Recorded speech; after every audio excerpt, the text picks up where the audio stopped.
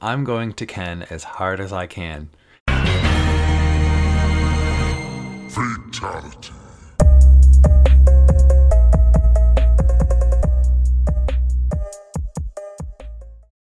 Hey, welcome back to another episode of Wake Up 3.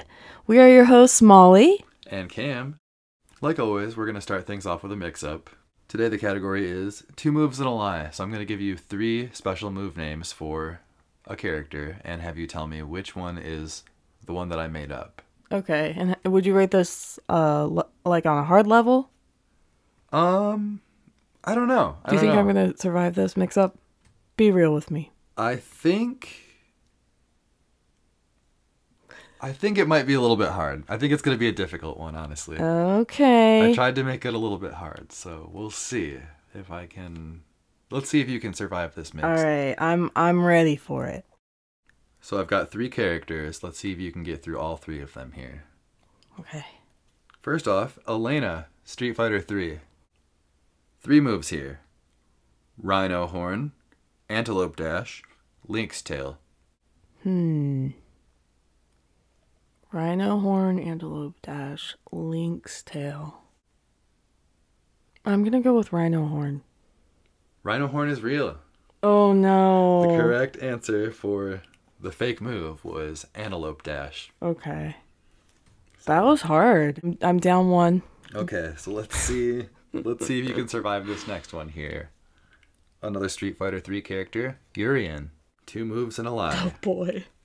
We've got Metallic Sphere, Dangerous Headbutt, and Angry Tussle. trying to think of him. I'm gonna go with angry tussle. That's right. Yes. Okay. Dangerous Headbutt I'm is proud of- real. proud of So, that. You got Angry Tussle. And last one, another Street Fighter 3 character.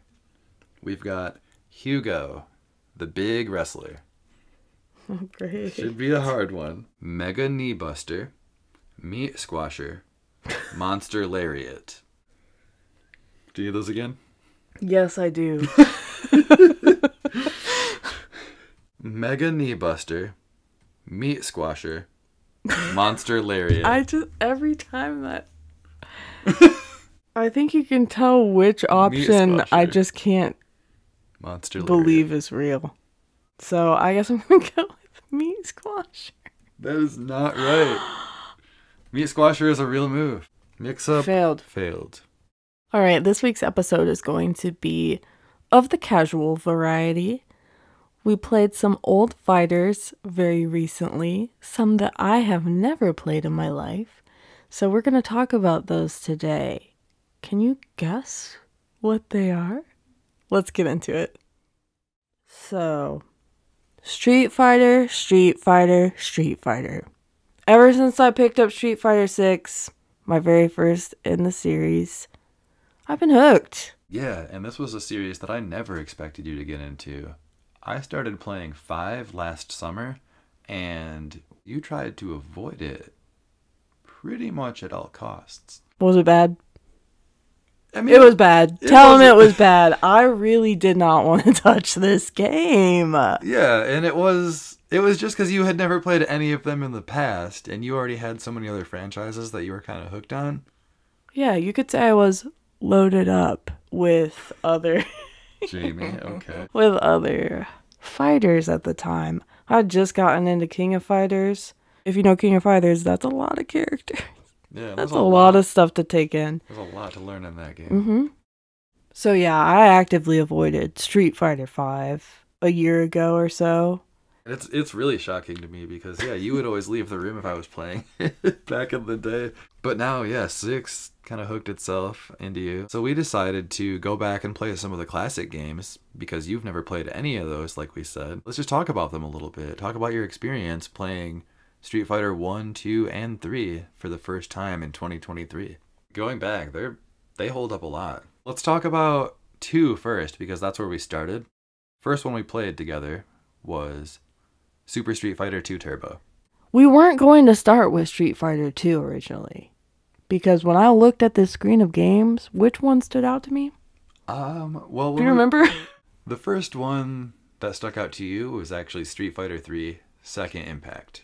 I was just judging by the the logos, you know, on the screen. Yep. Just that's that's it. Just face value. That's the one I wanted. And you were like, I don't think so. Yeah, I was just like, what about Super Turbo? I feel like we should play that. You knew of a couple of the classic characters from Street Fighter 6, just the returnees, but yes. yeah, it's like a lot of them. Yeah, it is. It's like nine-ish characters. I think it's nine characters that you knew on the roster, but the other seven you really didn't know anything about. What did you think of their like first appearances? Because a lot of them are like instantly recognizable. Right. I was immediately impressed by how true to the originals these characters have stayed over the years. Ryu is Ryu, Ken is Ken, Chun Li is Chun Li. You always know that. You still get those classic costumes, Classic moves. classic poses. Cammy's win pose is exactly the same. I love Cammy's station too. It's the, a cool one. the. London stage. Yeah. It's a cool It's got stage. some northern lights going on in the background, and you're on kind of like a castle wall. Of course, the style of the time lends itself to that as well. Yeah, and it looked a little bit more mystical in general. I feel like a lot of the stages tried to give a lot more of a colorful vibe and just vibrant. A lot of the characters play pretty much identical to the classics today. When I was playing Dee Jay at one point, you were kind of kicking my butt, and then a switch flipped in my brain like, oh yeah, I know how to play Dee Jay at 6. And then suddenly it just turned around super quick, and you were like, what's happening? Stop me in my tracks. Yeah, we don't even remember who I was playing as. It's not relevant. Mm-hmm. Yeah. Dee Jay with the once again completely recognizable. He's got the skin in Street Fighter 6 with the maximum pants. The braids. Yeah. I think you wore green pants and I wore purple. I think so, yeah. Is that what it was? We did Dee Jay versus Dee Jay? No, Oh, that, no. was a, that was a later one. Yeah, I picked Dee Jay much later than you because That's I don't know Dee Jay the way you do. I like Dee Jay. Now, who did you end up choosing first? The very first one I picked, I went with Fei Long, and that was a character I had never played in any Street Fighter game. I just thought he looked cool. He had the Bruce Lee vibe, and I wanted to give him a shot. It tried to pick Dhalsim for you, and then we had to back out because it counted down so fast, and you didn't want to be him. Oh, I remember who the first one you were. You were Bison first. That's right. I'd never played as M. Bison, and I know he's an iconic character, so I went with him. It was bad. I found out uh, I'm not an M. Bison player, I don't think. Not yet. Not now, anyways. Yeah, no plans to main M. Bison for me after that. Something I really liked about the Street Fighter 2 menu was the little fanfare that you get when you join in as player 2. I just really loved that. I, I feel like every time I made, because we had to go back, we got like stuck in arcade mode. We had to keep loading the character select back. So I kept joining and I got to hear it several times and Yeah. I'm not mad about it. I love that sound. Yeah, it was fun. So 10 out of 10 for the join sound. Yep, for sure. Player 2. I feel like I feel like for the most part, like all the sounds are pretty good. I know that one thing you hated was the sound of Sagat's moves. Tiger. what did I think he was saying? It I didn't think it was Tiger. It was something really weird. Yeah, I don't remember. Iceberg. Iceberg. Yeah, you thought he was saying iceberg. God. Yes, he's like tiger, tiger. I kept hearing tiger. And Iceberg. obviously, Iceberg. and you know, it's kind of Sagat's entire deal to he he's a zoner, even though he doesn't look like it. He's a zoner character, and then when you get close, his goal is to kick you. But yeah, you know, I'm just blasting off those little tiger shot things over and over. so you like those sound effects? I think I do. Yeah, I kind of do. One that I really don't like is the way the elephants sound in Dhalsim stage. I don't think we even went there. We didn't go there, and I'm glad. The elephant was just like such a shrill pitch, or like Mm. louder than the rest of the audio, or something. But it would like shriek, and it felt like it was so often. And I remember being stuck on a stage at one point when I was just playing through the arcade, and I was stuck on that level for so long that I muted it. Wow. Yeah, so I'm actually glad we didn't see that one. What else can we say about two? How do we feel about it? Well, which characters do you think you enjoyed playing the most out of two? The characters that I didn't recognize were the more interesting ones for me. Probably my favorite fighter that I played in two was I can't remember his name. the guy with the claws. Oh, Vega. Vega. That's right. That was a shock to me because I I don't know. I don't know what it is, but that was just kind of a shock to me. He's kind of a weird character. How so? Well, he I know that in 5 he his claw can actually fall off and you can like, lose access to certain moves. Why did they do that? Uh, You I can't tell me. I don't really know. I, I don't have an answer for that.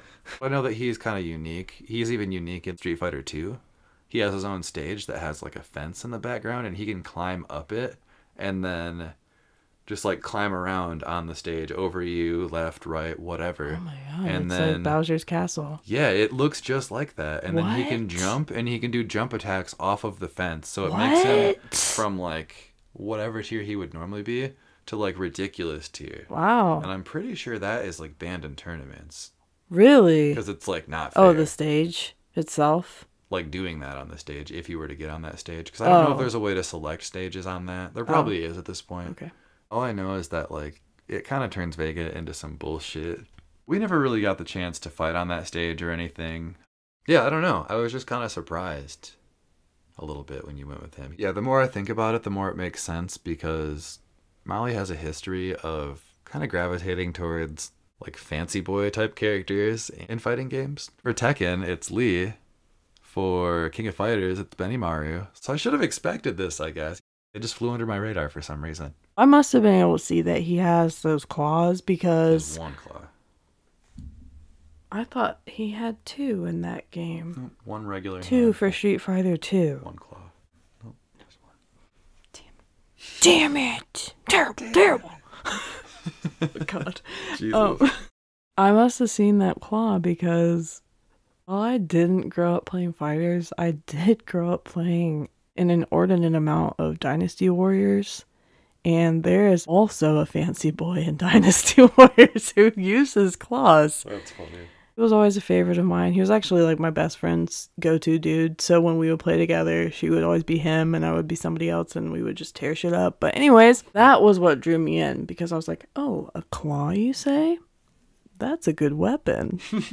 Don't mind if I do. yeah. And when I played as him, I, he has like a lot of really fun specials that remind me of other fighters and it was just fun. I feel like from the very first time you played Vega, you were like, "Oh yeah, this guy's this is it. This oh, guy's oh yeah, I was very impressed.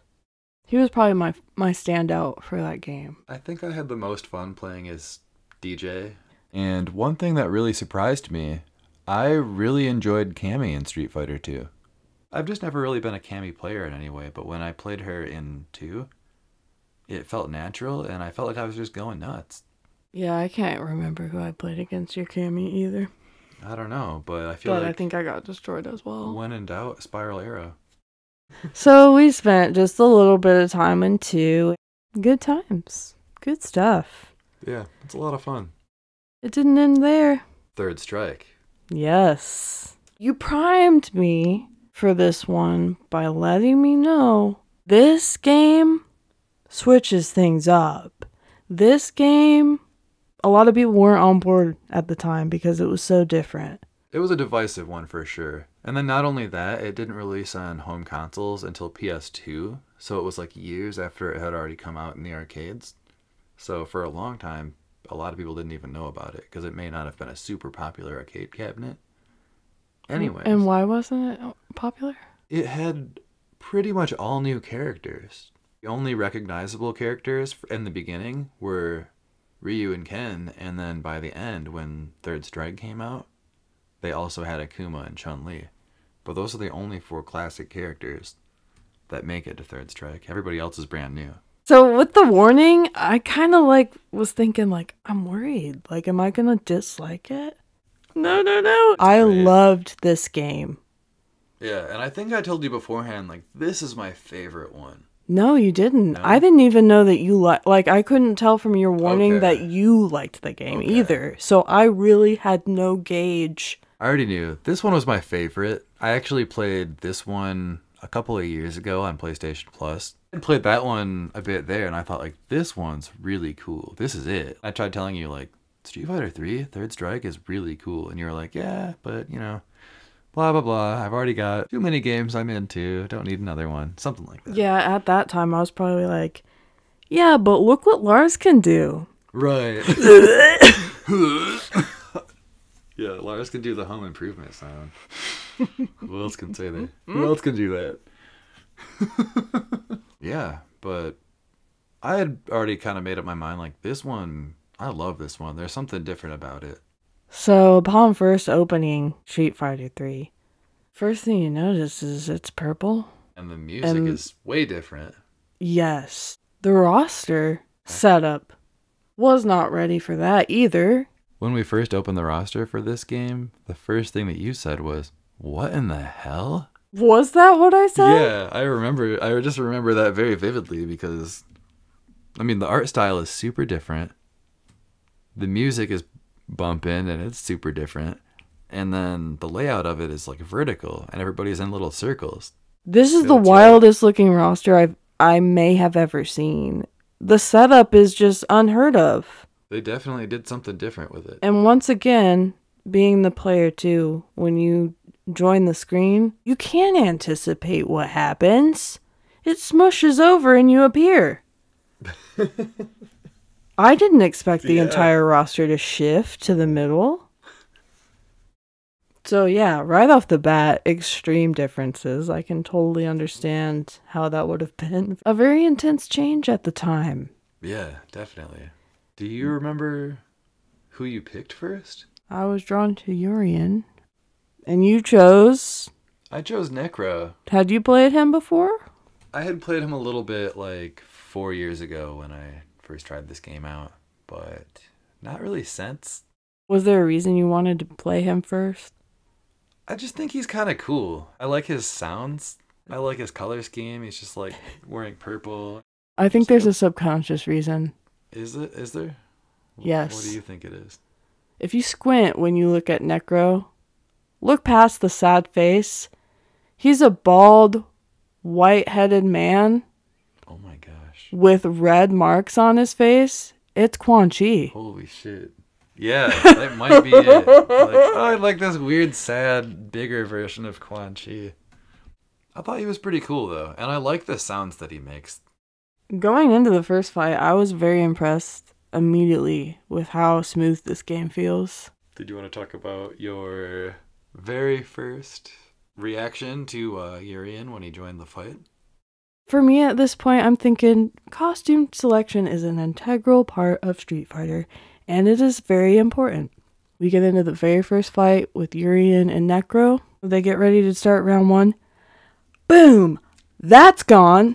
What outfit? Who cares what you just picked? Cause it's gone. Urien rips that shit off. Yeah, he just busted his clothes off. Frame one, it's gone. Yeah, and then from there you were just fighting in a thong. Wow, did I not expect that? At all. Yeah, you were shocked. He's pretty cool. I like him. And you ended up winning that one. And of course, yeah, that energy that he that you have at the beginning of the fight where he just rips off everything that he's wearing. I love that. You you you had to know that I was going to love that. Yeah, that's something I didn't tell you about Yeah. going into it. Love that I think that's energy. hilarious. He just flexes and like his clothing goes to shreds. It's great. Something in me decided to try out 12. He's like a pool of goo. He can just transform into anything. 12's like a white blobby boy. It could have gone either way. Yeah, he's a blobby boy. He's just a big white blobby boy. He doesn't have a face. He was fun. Probably one of the weirdest uh, character portraits that pops up on the side when you hover over is Hugo. Oh man, yeah, he does look pretty. weird. you're like doesn't he? looking up his nose. Yeah, he's just a huge guy. This guy's something else. Yeah, he's huge. He's real big. You played as him. Did you like him? He was pretty cool. Yeah, I feel like I hit you with a couple of his wrestling moves, like some of his grapples. Not quite as many as I would have liked, but you know, I don't really know how to play the dude. He's not your type, right? I don't think he would be someone I would play long term. That's for sure. I think I liked what he gave to the game. You know what I mean? Like what he Yeah. offers. I don't think he's really my style, but I did think he was kind of a cool character. Did he feel like any other Street Fighter characters? Well, the only reason I could nail his grapples is because I was trying to mimic Zangief moves. Mm. So I just thought like I'll just do some, you know, some full circles and see what I can do here. okay. Um, and I was able to get a couple of those off just because of that. They're definitely different, but yeah, I just thought like I know how grapplers play in these games. Let's give it a shot. You know what I mean? Mm-hmm. Otherwise, just from like the towering stature, I would say Abigail from Five. Oh, okay. Yeah, that makes sense. Just a huge, Just real big. huge character that's kind of slow, Mm-hmm. but just like really like they have a lot of impact behind their hits. Yeah. I've never played Zangief, but I've seen him. I play six. Yeah, I've seen him. yeah. So he had that sort of vibe, just like kind of a mixture of like Zangief and Abigail to me, but Mm-hmm. I don't think he's. I didn't vibe with him too hard because that's not really my style. I like really fast characters. I love Rushdown. There was one character that clicked with me when we were playing Ibuki, the ninja character. I loved her. Like, the second I found her, I loved her. I said, Whoa. Look, this game already feels real nice to play. Really, really smooth, really buttery. Ibuki? Another level. She feels so fluid, so fast. She sold me on it. I, I mean, just from that, I, I would love to see her return in six because I was feeling, I was feeling myself when I was playing her. I had heard of Yun and Yang. Jamie has inherited moves from both of them, we'll say. Had to see what that was all about. And they were fun. I hmm. liked both of them. Yeah, yeah, they were cool. I first tried Yang. I thought, I don't want to wear the hat. Something Yeah. about the hat just throws it off for me. Yeah, you just weren't feeling the hat. so I started with Yang. And then Yeah. we ended up doing a, a Yun and Yang fight where I tried Yun, you played Yang. Right off the bat, you're like, I prefer the palm strike that Yun offers. Yeah, And then you just went off. I did. honestly, I went, I you ate your words because you were feeling Yang by the end of it. I think, I really was. and I was feeling Yun. I think they're both fun. They both are, yeah. I was just kind of thinking, like, whenever I play Jamie, like the very little amount that I do play Jamie, I love doing that palm strike move. It's like it's that's a great move. I that's- understand. that's my thing, and you're more about the kicks, so I feel like it made sense from like the get go. Like, yeah, I'm gonna like the guy with the kicks. Plus, you didn't like the hat, so. yeah, I thought they were both pretty cool. I don't know which one I would prefer at this point, actually. Yeah, I almost feel like that's the goal with these two characters. You're not supposed to be able to pick a favorite. Yeah, they complement and that's each probably well. why they ended up just making Jamie. So you just mentioned kicks, and there was a character on the roster that I did not expect at all. I didn't end up picking this character till probably halfway through our time playing. This wasn't even my first pick, not even my fifth pick. I feel like it was kind of random when you chose her, and it was just like, all right, I'll give her a shot. Haven't tried her out. You were like losing your mind. You're like, whoa, look at all these kicks. This is great. Oh my god. You love kicks. That's your thing. I like punches. You like kicks. I can't not overstate this. I fell in love with this character immediately. If she's in six, look out, Jamie. Look out, because I was obsessed right off the bat with Elena. Yeah. Like by the end of the first round, you were like ranting and raving. Like you might as well have been standing up, like shouting into the ether, like, this is great. I love this. This is such a good character. This is my shit. That was definitely the most exciting character for me. Yeah, it was fun to see that reaction from you. Two months ago, you were like, I don't care about Street Fighter. It's just wild. It's wild to see the turnaround. I really wasn't sure what to expect from the character select for her because she's just got short white hair, like bright white hair, some jewelry, like some necklaces. I feel like you can see. It was giving me like Atlantis vibes from the from the character select with the just the white bright hair. But man, oh man, I was not prepared at all for what she was capable of. She's so cool. She is. I was just ripping through the screen. I was. Yeah, so if Elena ever comes back for Street Fighter 6, I guess look out world cuz you're going to be going real hard. yeah, she was a big standout character for me. Who else stood out for you, Cam? I thought Q was really cool. He stood out to me. I like that he was a robot in a trench coat. That just fit my vibe, I guess. And then I loved his super. I loved that it was just a self destruct. That was the one I chose, anyways. I just couldn't really shy away from that one. I also really liked Makoto. I thought all of her hits just seemed like they were like really powerful. Like there was a lot of impact behind them. Yeah, I think she was a fun addition as well. That was my first exposure to her. I've heard of her in recent times, getting into more Street Fighter these days. She was a fun, fresh addition, I would say. Yeah, for sure. And this was my first time ever playing her because I've never played four. Okay. But uh, I would love to see her in six, so maybe bring Makoto back. Maybe it's time to see her again. I think that'd be cool. Yeah, I'd love that. We also played a matchup early on that was actually my first time playing a Shoto character. You chose Akuma because you were really excited to play as Akuma. I feel like you had a a special interest in Street Fighter 3 Akuma. Am I right? Yeah, for sure. I've played him in Alpha, and I thought he was great in that, in Alpha 2 and 3. But yeah, I hadn't really tried him out in Third Strike at all, so I was looking forward to that. And I ended up kind of getting my butt kicked against you. Wasn't the standard pick, it wasn't Ryu or Ken. I chose Sean actually as my first Shoto character. Yeah, I actually thought he was kind of fun. Like a different a slightly different take on it. Yeah, for sure. Like, he doesn't have the standard fireball or anything like that. right. He does but- have a fun little role though. Yeah, that was cool. That reminded me of King of Fighters. Mm-hmm. Do you think it would be cool to see him return or do you think it's likely? I don't know how likely it is Yeah. because this is the only one he's been in, actually. He never made it to four or five. Wow. So they really just dropped him.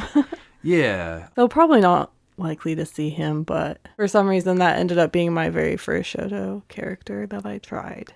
yeah. So there's that for the record.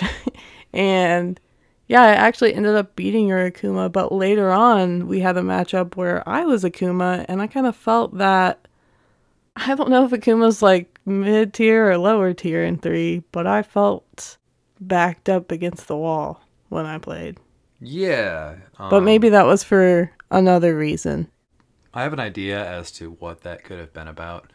I was Ken during that matchup, and like halfway through the first round, I said, I'm going to Ken as hard as I can. And from then on, for the whole rest of the match, I just started doing only special moves and all the time, regardless of where I was on the screen. So I would be like full screen and just throw out a Shoryuken. Or right in your face and throw a fireball. Just, I'm going to Ken as hard as I possibly can. and that stupid unpredictability just made it so I was able to beat you because I wasn't really trying to do spacing. I was just trying to do hits, you know what I mean? Yeah, you just shut off your brain and kenned. I canned as hard as I could and it worked. Winning with Ken. Yeah. All right. Yeah. I all I had going for me was that Akuma looks pretty cool in this game. I mean, when does he not though, really? Yeah, I Akuma fans, what's up? Akuma fans rise up. Yeah. But I guess that takes care of pretty much all of our standouts in the game. I think Yeah. so. I think so. I am looking forward to. I mean, I always like Akuma. I am looking forward to him coming out next spring for Street Fighter Six. I am very excited for that.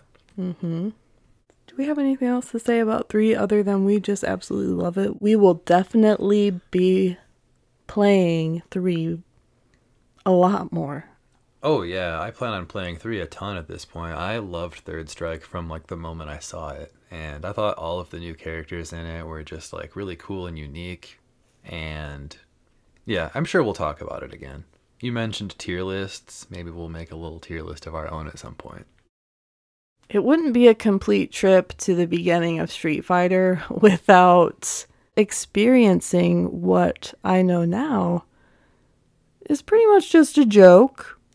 But before I tried it out, I thought you kind of have to experience Street Fighter, the very first one. You warned me that no one takes this seriously. You said no one plays this game. And before we played it, I said, No one? Really? Like, no one? I really couldn't believe you because I'm coming from the background of like Mortal Kombat, where people play Mortal Kombat Right. still. Like, that's that's valid. So to me, hearing you say no one plays Street Fighter, I just didn't believe it until I experienced it. Yeah, I told you that the controls were kind of jank. When you put in a special move, about 80% of the time the input is just going to get lost. Uh, you a still 5%. you still weren't ready for it. Like No, the, I wasn't. The input always gets lost. Like that's just how it is. Good luck throwing out a, you know, even just a simple fireball or anything. It's just the input gets eaten. We had just finished playing three with the Ken versus Akuma fight, and we went into Street Fighter, and I said, All right, well, this time I'm going to be Ken. And you responded with, You actually don't have a choice. Yeah, you're player 2. So, that's Ken. so yeah, you don't have a choice. We pop in there as Ryu and Ken, and it is terrible. Yeah, very laggy. Immediately, I'm just laughing. Like, this is so bad. When you're in the air, it's whoa, like, just the physics are all over. Yeah, it's it's some jank fighting for sure, but I mean it laid the groundwork for what came after it, and even though it only had two playable characters, just Ryu and Ken, it still started somewhere. One thing when I was looking through the concept art, I noticed there is some artwork of Ken with four toes on one foot. Oh.